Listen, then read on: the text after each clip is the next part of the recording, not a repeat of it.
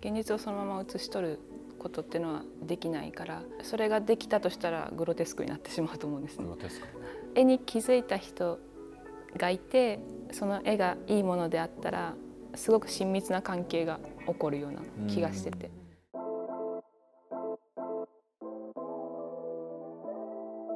本日のピックアップアーティストは那須沢子さんです。どうぞよろしくお願いします。お願いします、プロフィールお願いします。はい那須佐和子さんです。ハケで画面を洗い流すフレームを外付けするなどの固有の技法を模索しながら距離やつながり関係について物語るペインティング作品で知られています。東京芸術大学大学院を修了され現在は国内のギャラリーをベースに発表活動を積極的にされています。ハケでこうすすり流すというか、はい、その技法はまたどういう経緯でというかこういう作品に至ったのかっていうのを聞かせていただければと思いますけど、はい、私が主に制作しているのが人物と風景画なんですけど、うん、そのあえてこうノスタルジックなイメージというかなんかかつてあった絵みたいなものをイメージして、うん、特定の絵画ってわけじゃないんですけど、うん、昔の絵画をイメージしつつ何回もこうストローク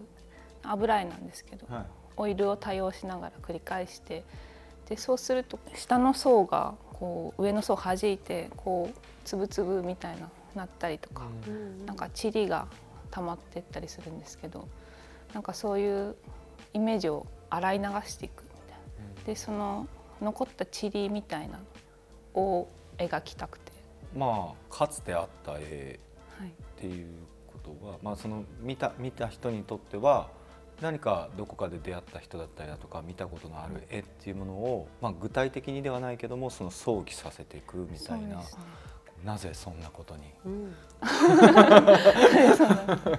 えー、まあ、最初は純粋にまあ過去の画家のようになるんだみたいな気持ちで描いていくじゃないですか。はい、でも勉強するにつれ、まあ、現代美術とか、うん、やれ絵画の終わりとか、うん、まあ、歴史の終わりとかを勉強していってそういう時にあ自分はその昔起こった芸術運動とかの潮流にいないんだなっていうかこう潮が引いていく感じがあって現代においてもただ描くだけっていうのでは足りないっていうのに気がついてどう絵を始めたらいいのかってとこで、まあ、その距離感というか昔の芸術との距離感をそのまま絵にすればあ描けるんじゃないかっていうので始めました。自分がたまに風景に額縁をみたいなものをつけるんです、うんうん、でそれはまあ額縁って本来なんか絵画を保護するためとか装飾のためとかに使われることが多いと思うんですけど私の場合はめちゃくちゃこうボロいというか粗末な木の棒をただちょっとずらしてくっつけただけなんですけど昔の絵画のイメージっていうか、まあ、絵画のイメージのありかっていうのをなんかちょっとキャンバスと外のフレーム中でこうずらすことによってこう曖昧にしつつ何か見る人が新たに想起できるようにしてる。でこの多くの画面のやつもあの同時にこう複数の画面がずれたりとかして、ちょっと所在が曖昧になるというか。そうですね、はい、技法と思想の一致みたいな言葉を掲げ掲げているというか、まあ、それを言葉を大事にして、まあ、創作されてるっていう話も伺ったんですけど、はい。うん、イメージをそのままなんでしょう。描く。っていうのでは自分ではダメだと思っていて、うんうん、でまあアクションというか、うん、考えながらこうするためにこう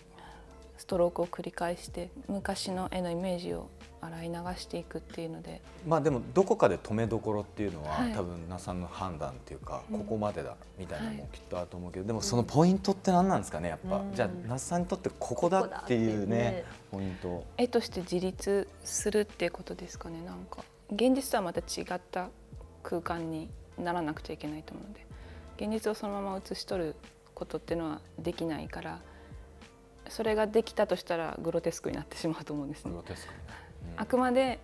絵の中として成立できるっていうそこがポイントなのかなと思うんですけど。なんかいろいろ資料も、はい、映像、ね、動画？写真と動画がある。そのタイトルがあって、まあ、一つの絵のための二つの部屋っていう。一つの絵のための二つの部屋。っていうタイトルで、でその入り口に入ると車椅子がどん付きになって。るでその部屋の中には何もない2つの部屋つながっててその部屋を入ってまた行くと隣の部屋は光が満ちていて、うん、窓を覆うようにしてアルミシートが置かれていて、うん、まあ、それは風に揺れてるんですけど、うん、でアルミシートの目の前に照明が照らしてる、でその光がこう廊下を突き抜けて、ドアから漏れて光が廊下を突き抜けてその廊下に一つの絵があるっていう作品で光がこう揺れながらで鑑賞者の影を落ちながらそれを見るっていう。これは廊下に設置してある。そうなんです。ああなるほど。一つの絵を描くために展示をしようと思ってて、うんうん、でその一つの絵っていうのモチーフがこう、まあ、ポートレートなんですけど、まあ、絵自体のタイトルは「チェックのシャツの男」っていうタイトル、うん、でそのポートレートのもともとモデルがいて、うん、自分が絵を描き始めた当初からモデルにしていた人物、うん、でその人ってのがえーと、右半身不随で、えー、言葉も喋れないし動くこともできない人だそのモデルっていうのは本当に近くにいるけれどもものすごい遠い、うん、つまり画家の視線から逃れているモデルだったんです。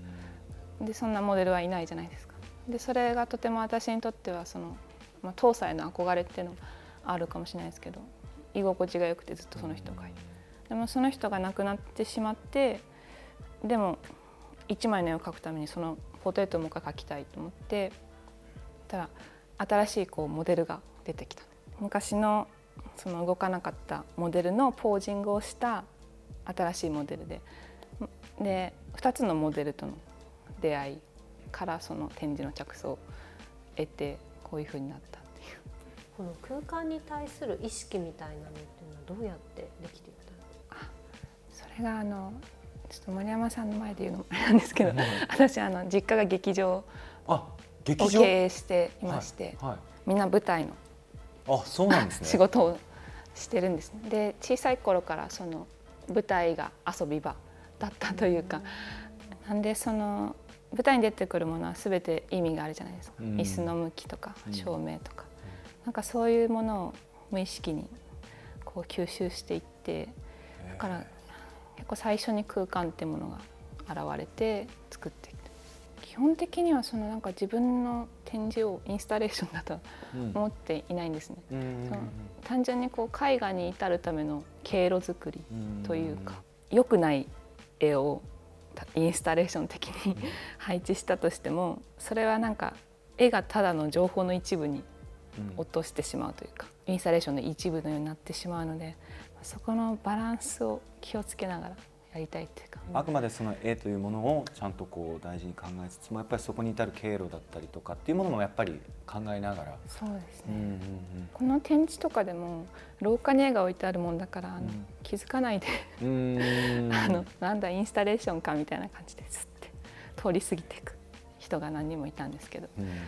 でそれもある種重要だと思ってて、はい、そのなんか抜け穴みたいな空間というか。で絵に気づいた人がいてその絵がいいものであったらすごく親密な関係が起こるような気がしてて、まあ、記憶に残るというか。そういう風な空間作り気づいた人が立ち寄って出会って親密な関係を築くっていう。これから何か別の展示の予定なんかはありますか、はい、6月末に渋谷の小東のビスケットギャラリーで3回を使って一人であ全部？そう三フロアで展示をするんですまだ一回も行けてないんですけど、ね、ぜひ六月末にあるのでよろしくお願いします。今日はありがとうございました。